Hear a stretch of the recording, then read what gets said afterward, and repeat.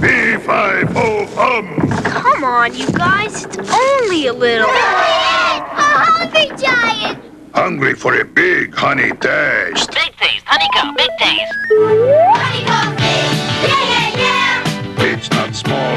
No, no, no! Honeycomb's got a big honey taste! Big, big crunch for a big, big bite! Honeycomb cereal, part of this big, complete breakfast.